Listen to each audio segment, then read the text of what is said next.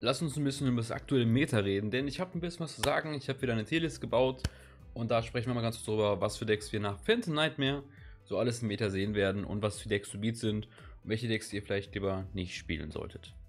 Let's go. Fangen wir einmal an mit einem der neuen Decks aus dem nächsten Hauptset und das ist einmal Goblin Biker, so heißt es ja jetzt.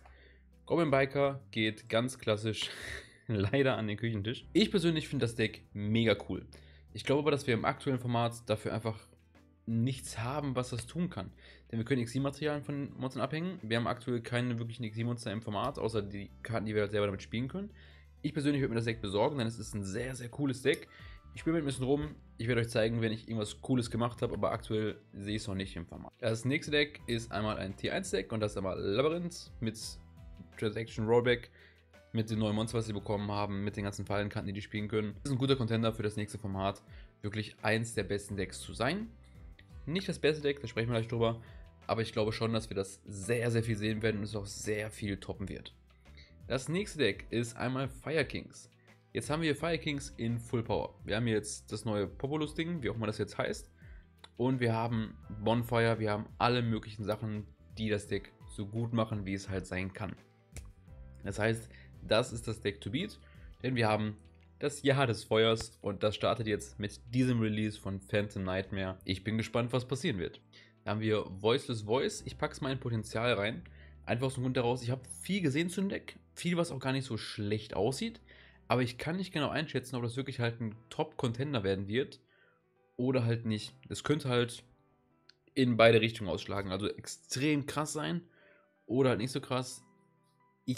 Gehe eher so Richtung Tier 1, aber wir werden es sehen, wenn das soweit ist. Dann haben wir einmal Manadium, ein Combo-Deck, was extrem gut ist. Tier 1 auf jeden Fall. Es ist ein gutes Deck, wenn ihr First geht, da kann Feuer nicht durchspielen. Wenn ihr Second geht, hat das ein paar Möglichkeiten, noch ein bisschen was zu spielen. Es ist wirklich ein gutes Deck. Ob es jetzt das Deck ist, was ich picken würde, wahrscheinlich nicht. Aber es ist auf jeden Fall ein Deck, was man gut spielen kann.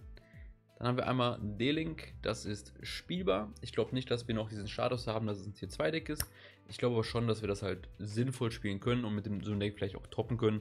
Ich glaube nur nicht, dass ich das Deck wählen würde, wenn ich die Möglichkeit hätte. Dann haben wir einmal Rescue Ace und das kommt auch zu Deck to Beat. Denn eine Sache, die ganz wichtig ist, zwischen Rescue Ace und Fire Kings liegen nicht so viele Konstellationen zwischen. Denn wir spielen mit dem einen halt die Snake Eye Karten mit ein paar Rescue Karten und dann spielen wir einmal Snake Eyes mit ein bisschen Fire King Stuff drin. Ja. Ist halt an sich eine sehr, sehr ähnliche Deckstrategie. Ob das jetzt wirklich das eine oder das andere halt sein wird, wir werden es sehen. Ich glaube aber schon, dass beide Decks da oben wirklich halt einen Platz finden werden. Genauso wie das Deck, was gleich noch dazu kommt. Aber dazu kommen wir gleich noch. Dann haben wir einmal Tier Ishizo. Das packe ich auch mal zu Potenzial. Jetzt den Ishizo-Part können wir natürlich theoretisch weglassen, sondern nur Tier-Elements.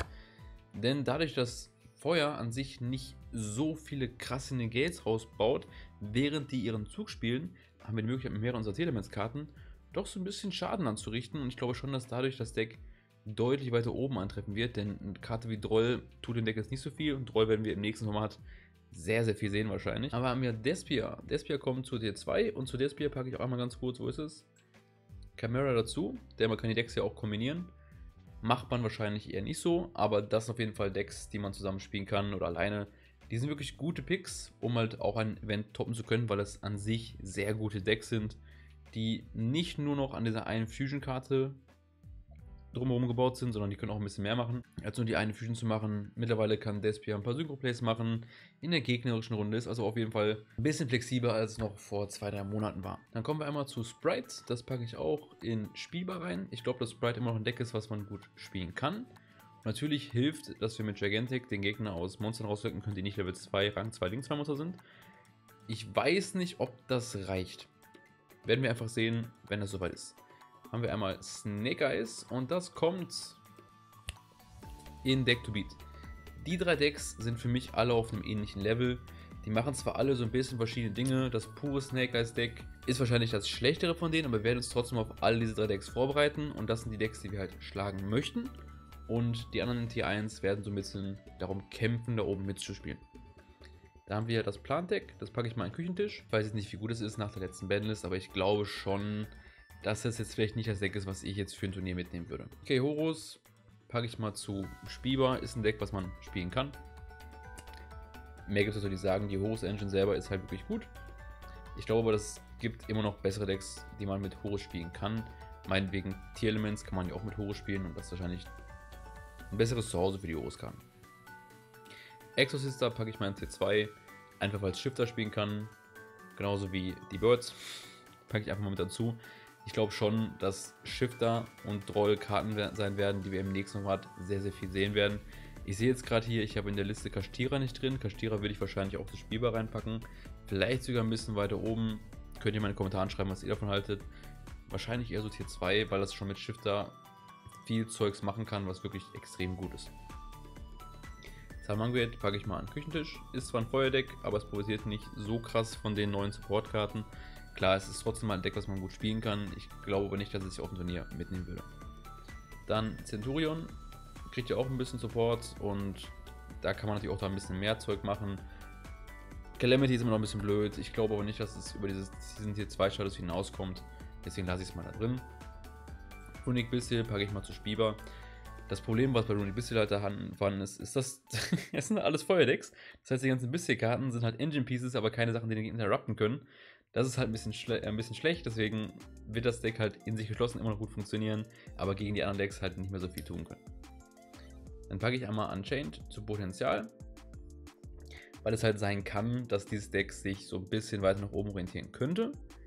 Wir werden es aber sehen, denn ich glaube, dass der das Power Ceiling von den anderen Decks so viel höher ist im Vergleich zu Unchained, dass es trotzdem mitspielen kann, aber ich glaube nicht, dass es immer noch so gut spielbar ist wie jetzt die anderen Decks. Dann kommen wir einmal zu Purli. Das packe ich einmal in Tier 2. Ist auf jeden Fall ein solides Deck. Kann richtig viele coole Sachen machen. Das war es aber auch schon. Dann haben wir auch einmal Vanquish Soul. Das packe ich vielleicht auch mal in Potenzial rein. Die neue Fallenkarte ist echt ganz gut, die die bekommen haben. Das hat natürlich den Vorteil, dass wir jetzt mit ein bisschen mehr Feuerkarten auch natürlich die Feuerkarten suchen können. Und wir können, witzigerweise habe ich gesehen, auch ein paar Engines in dem Deck spielen, die gar nicht so schlecht sind. Und dass die jetzt nicht gegen Impim und sowas verlieren und gegen Droll verlieren halt extrem krass, da müssen wir ein bisschen aufpassen. Aber ich glaube schon, dass das Deck sich ein bisschen weiter oben notieren kann. Wie wir jetzt gerade sehen an der Titel, die ich jetzt hier baue, dass es noch nicht ganz so eindeutig ist, wie das Format sich so ein bisschen shapen wird. Wir werden wissen, also wir wissen, dass die Feuerdecks wirklich gut sein werden, dass wirklich viele sich vorbereiten und dann der Rest ist so ein bisschen. Mal gucken, was so passiert, weil es haben sich viele mit den Feuerdecks halt beschäftigt, aber nicht mit den anderen Decks. Deswegen werden wir das noch ein bisschen genauer betrachten, wenn das halt so weit kommt. Dann haben wir noch Mikanko und Infernoble, die packe ich beide mal zum Küchentisch, denn aktuell würde ich die auf dem Turnier nicht mitnehmen. Wenn euch so ein Art von Content gefällt, lasst mir gerne mal ein Like dafür das Video, damit ich öfter so eine Tierlist für euch bringen kann. Ich mache die ja wie gesagt einmal im Monat. Das hier ist die Übersicht für den Monat Februar 2024. Wenn ihr noch Decks habt, wo ihr meine Meinung wissen möchtet, schreibt es in die Kommentare. Ich werde euch mal darauf antworten, was ich von Deck halte.